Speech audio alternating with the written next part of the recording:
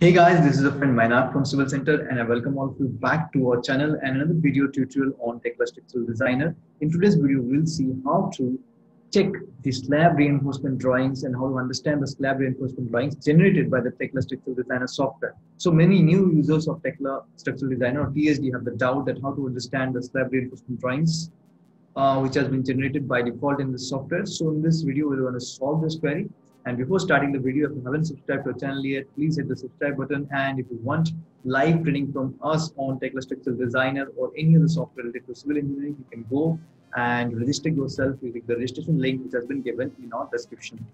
So having said that, let me just share my screen and show you. This is the drawing which has been generated by the Tekla Structural Designer.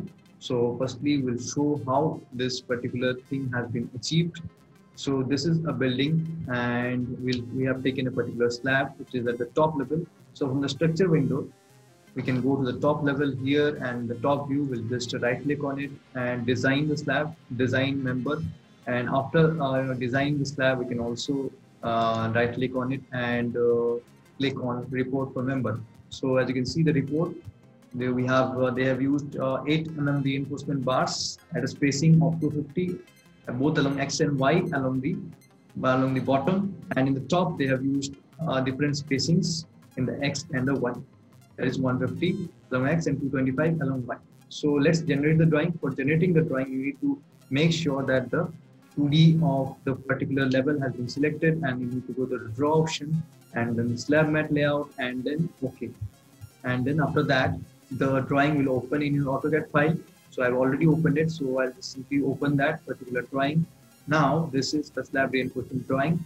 So it's looking a bit hodgepodge here. Let's try to decode it. What is the actual uh, reinforcement detailing of this particular slab?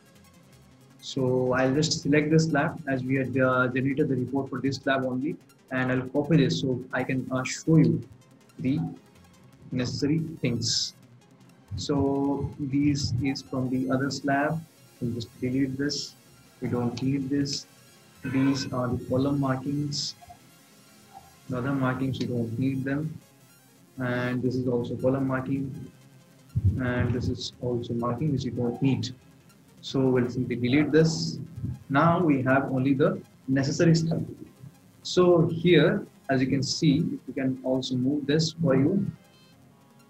See everything is present. Only we have just arranged the useful things which we need all the useful things are remaining. So this is the bottom reinforcement in your x direction and bottom reinforcement in your y direction. And this is also not required.